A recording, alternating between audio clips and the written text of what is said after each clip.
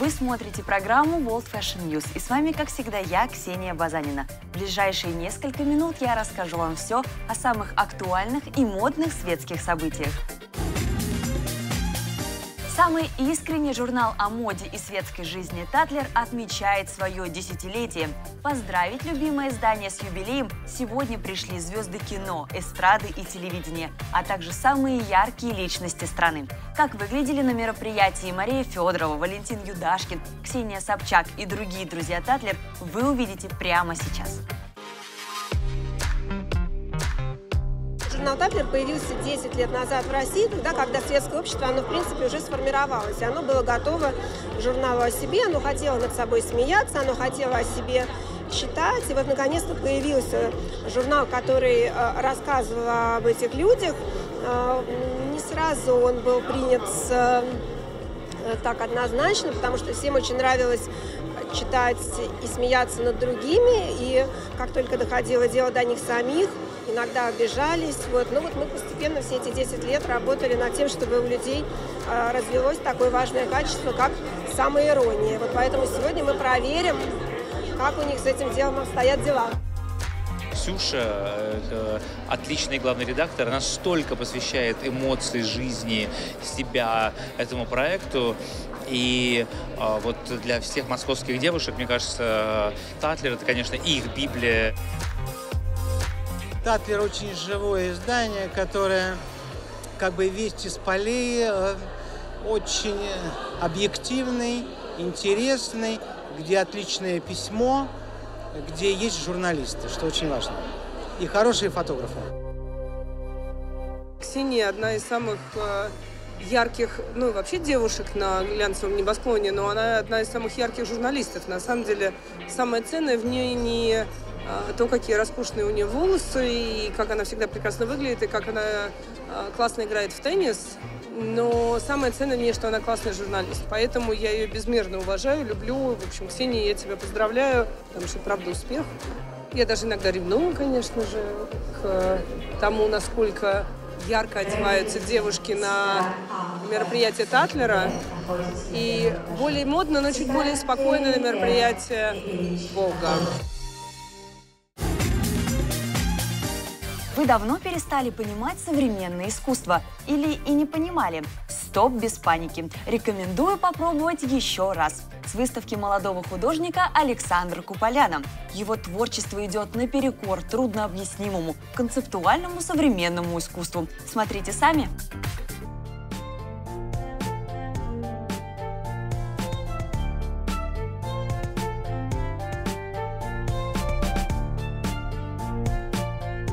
Первый раз, когда увидела работы, особенно их формат, я увидела огромные шедевры, не как будто бы они написаны очень давно и много лет назад. Я просто увидела какую-то реакцию на прошлое, оно нового не может быть без прошлого. В современном контексте огромные шедевры, которые мне показалось вернулись, и их нужно показать. Это картины, которые я писал все-таки с, э, с моментом внутреннего понимания, с, э, с этой темы, потому что я представляю человека тоже как город, который зарождается, растет, переживает какие-то э, моменты э, разрушений, э, опять рождения. И, в общем, э, человек это тоже город. современное искусство, несовременное искусство. Для меня все это прекрасно, я это все очень люблю, и без этого я ну, не вижу существования даже мое, да, потому что я всегда радуюсь тому, что люди что-то создают. Я делаю исключительно, что меня волнует. Вот я свое делаю, и мне это прекрасно. То, что я вижу, это интересно, и это красиво. Вот. Это, это уже немаловажно в современном искусстве. Вообще, искусство – вещь очень сложная. Искусство должно делать человека а, лучше а, или умнее, а, заставлять чувствовать или смеяться. А, если же искусство не вызывает никакого чувства, как это бывает часто с современными фильмами, да, то мне кажется, это уже перестает быть искусством и становится индустрией. Все очень впечатляет. Вот от некоторых работ реально мурашки по коже бегут. Я не знаю, как у других, но у меня действительно это вот искреннее ощущение.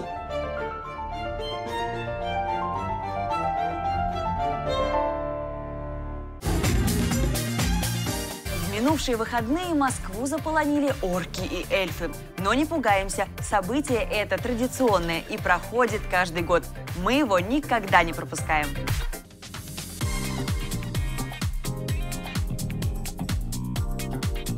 Из волшебного леса эльфы-тусовщики переместились в городские декорации. На этот раз организаторы Midsummer Night Dreams попытались воссоздать атмосферу берлинского рейва. Что из этого получилось, мы сейчас узнаем. Мы стараемся делать события.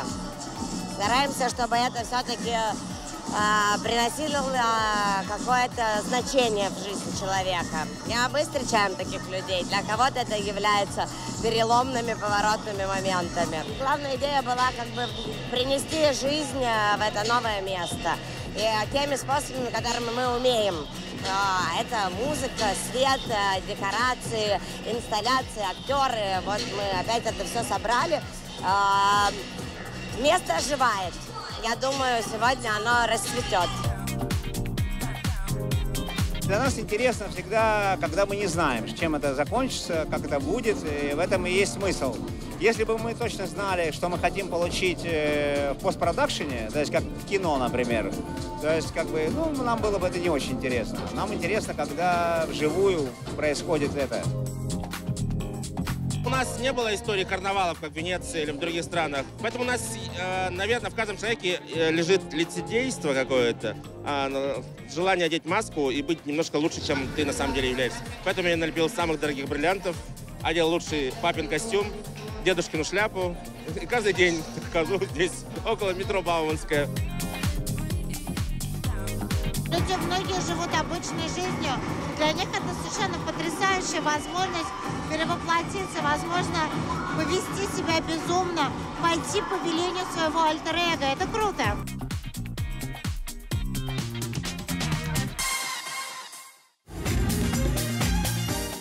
Пока наш оператор самостоятельно искал костюм эльфа, чтобы попасть на съемку, мамы-блогеры со всей страны воспользовались ситуацией и нарядились на вечеринке «Мама Пати by Parents».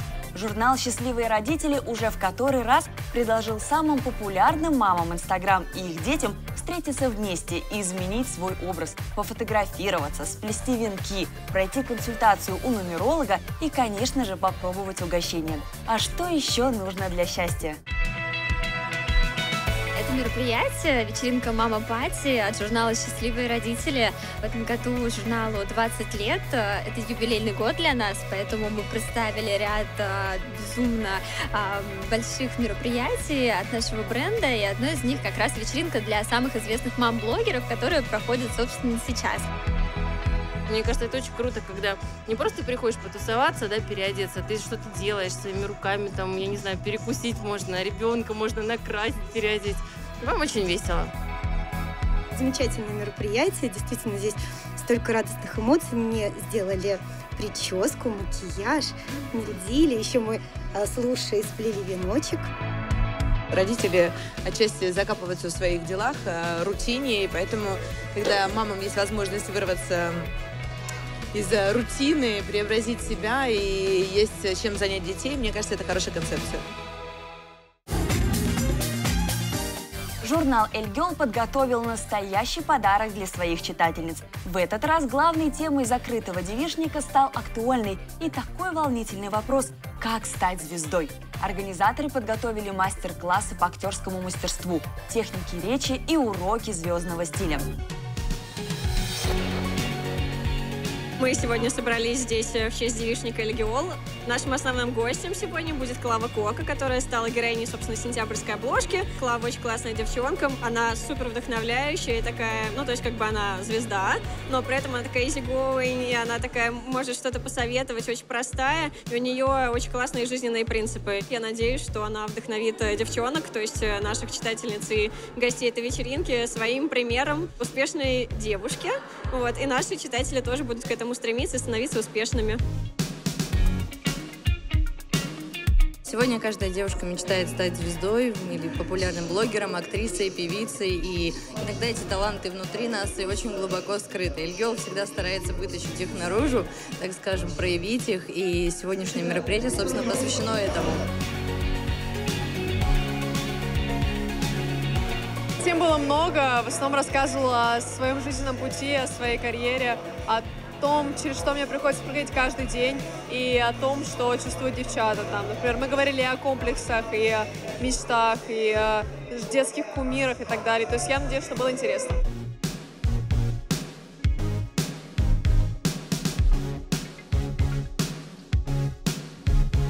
атмосфера на мероприятиях Эльгел всегда очень классная атмосфера, на самом деле. Очень все дружественно, очень так уютно, очень миленько, вкусная еда, напитки. И можно встретиться со старыми друзьями, пообщаться. Я думаю, что тема девишников станет прям такой традиционной для Эльгиол. Возможно, мы будем поддерживать каждый номер каким-то таким мероприятием и звать, соответственно, героинь обложки или просто героинь номера, чтобы они смогли поделиться с эм, читателем опытом уже вживую, не только в интервью, и чтобы читатель мог получить обратную связь и задать им вопросы.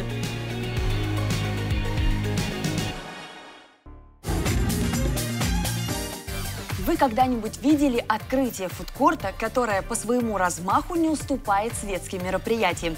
Мы видели и можем с уверенностью сказать, что садовый буфет в аптекарском огороде – это самый неформальный фудкорт в Москве.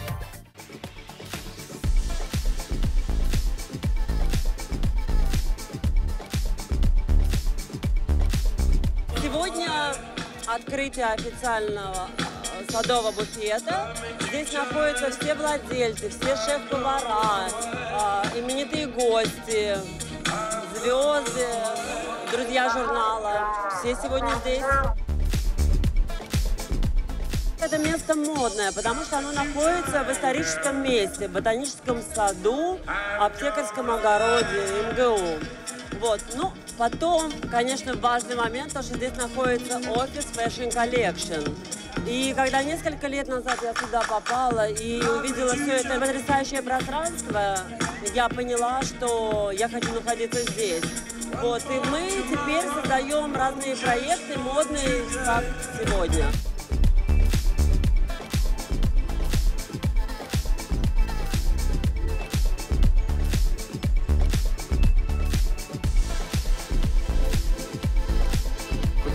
Сад давно перестал быть только центром науки и образования, каким он являлся более чем три столетия. Он давно стал культурным центром, центром познавательного досуга, центром рекреации и отдыха. И, конечно же, для этого отдыха необходимо, чтобы люди могли где-то перекусить, где-то отдохнуть, где-то перевести дух, где-то выпить чашку чая, кофе, что-то поесть, а потом вернуться к огромной и разнообразной культурной программе ботанического сада. Очень рады быть э, на этом месте, потому что здесь реально чувствуется э, здоровье, чувствуется, э, что это все, откуда это растет. И кажется, когда ты здесь находишься, что это еда, которую здесь кушаешь, прямо здесь и выращена.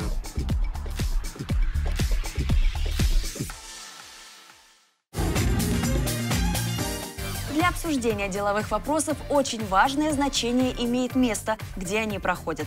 И как оказалось, на подобные пространства существует мода. Последнее из полюбившихся нами мест стало Mercury Space.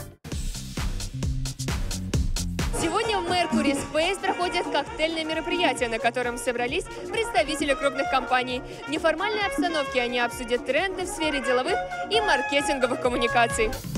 DS Night предложила нам провести э, вечеринку именно здесь и пригласить своих э, самых знаковых гостей. И э, Mercury Space – это одна из площадок, э, которая позволяет э, разместить, первое, такое количество гостей, второе, она настолько современная и уникальна, что э, другой площадки в Москве э, в принципе просто нет для такой тематики, для такой компании, как Idea Night встретилась со многими новыми интересными людьми и с давно э, любимыми, хорошими, знакомыми друзьями. На высоком уровне все организовано, очень хорошие речи. Мне кажется, что очень хорошая компания и, возможно, сделаем хорошее сотрудничество.